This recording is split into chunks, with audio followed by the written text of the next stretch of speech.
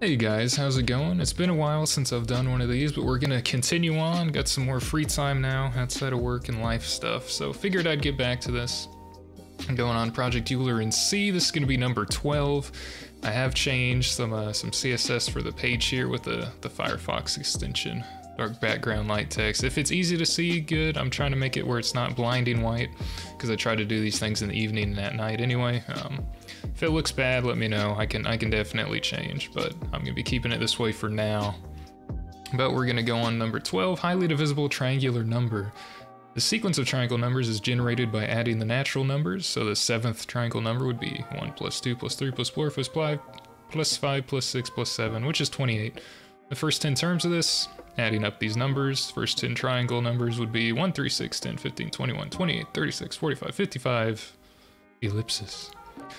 So, what's the factors? You know, you got the factors here. These are divisors of these numbers. So 10 factors, 1, 2, 5, 10, it can be divided by these. All right, evenly, because they're natural numbers. We can see that 28 is the first triangle number to have over 5 divisors, since it has 6. What is the value of the first triangle number to have over 500 divisors? Ooh, this one's pretty good, pretty easy. I got the answer here already, of course. Pull up the old editor, use using Notepad++ now, went to the 21st century.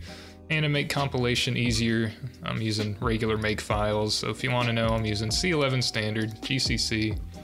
Um, all warnings extra pedantic just to make sure I didn't miss anything. And there you go, pause, copy, whatever. If you want to make it easier, just type make and it'll compile faster than typing all this out yourself. Anyway. I'm using the Solarize theme. Again, if it's hard to see, let me know, but it's easier on my eyes, so I'm gonna use this or Gruvbox or some other easy to see theme for the future in these. Hopefully the contrast is okay between this and the browser window, but just put down 12. Largest triangle number, whatever. Highly divisible, rather. It is a large number, but not that bad. Highly divisible. We're gonna use the standard IO header and we're also gonna use the math header for square root goodness. Because it's a lot faster to compute factors of a number only going up to the square root, which is what we're gonna do. We're not gonna pass anything to our main procedure, so we don't need any arguments. And it with return zero, so we don't get any warnings in compiling, but all we're gonna need for this are a few a few integers. I'm gonna make a triangle number integer, just initialize it to zero. I'm also gonna have, just checking the sound, an integer for the natural number or x or whatever you wanna call it, but it'll be iterating and we'll be adding it to the triangle number. And that's how we're gonna, we're gonna compute it. We're gonna have the natural number also, we'll make it zero. We're gonna have another int for, say, divisors or factors or whatever you want to call it. We'll be counting the factors because once we get over 500, then we'll be done with the problem. Um, we don't really need to initialize that. It'll be initialized in a in a loop here, and then we're just gonna have a loop counter. That's uh, that's all we're gonna need. Uh, we can use a while loop here. You could use a for loop. I'm gonna use a while because it's easier, makes it simpler. While one, while true, however you want to do that. Just make sure it keeps running and doesn't end until we tell it to. Uh, but to start off, we start a natural number at zero, so to get the first triangle number here, which is one, one plus two plus three plus four, to get the, the natural number sequence, they're not including zero, and it wouldn't matter anyway, so we're not gonna include zero. But it'll be easier to just iterate here at the start of our loop. And then we're gonna add that to our triangle number. Whatever the next natural number is, we're gonna add it to the current triangle number to get the next triangle number.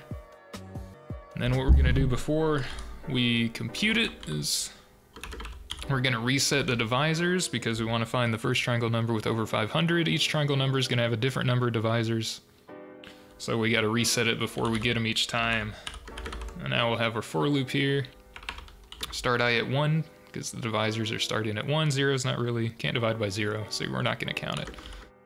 We're going to start at 1, we're going to go up until the square root of the number.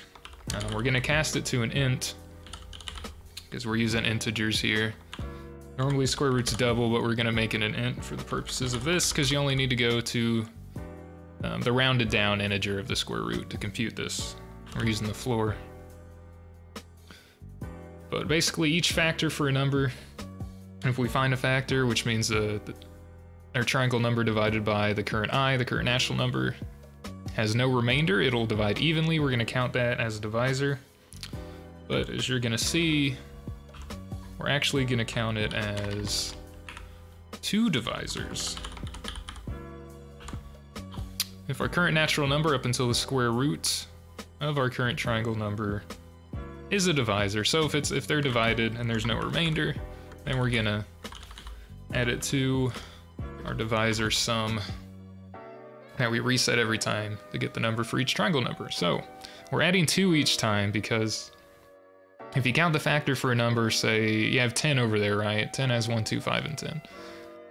If you get to like 1, 1 is a factor, but you also have 10 on the other side. For any number, there's at least two factors, basically one below the square root and one above the square root once you reach one of the factors. And in this case, you know, 1 in 10, there's one below the square root of 10 and one above. So you add both of them to the divisor list. And also you get to 2, you have 2 and 5 are closer to the square root, but they're not quite there. And then 2 is below the square root and 5 is above the square root of 10.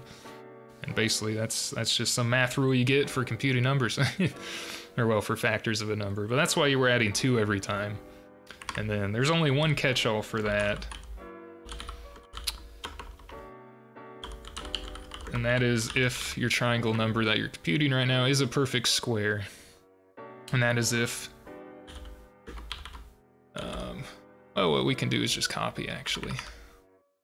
But if you multiply the square root by itself, and that equals the current triangle number, then you have a perfect square, such as, say, like 25.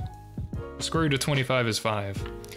And now, normally you'd have a number below and above the square root of the number, but if your divisor is the square root of the number, then you don't want to count it twice, because that'd be counting the same number. In 25's case, the factors aren't 1, 5, 5, you know, 4, 25. You don't count 5 twice, you only count it once. So in this case, if this is true, if it is a perfect square, then we're going to reduce the divisors by one. Only count to five once in that case, not twice. So we're getting that. That will give us the amount of divisors for the current triangle number. It'll give us the number and its divisors. So after we've gotten that, we want to check if we are at our goal. If the divisor is over 500, because we want the first number that's over 500, we're going to break out of our loop.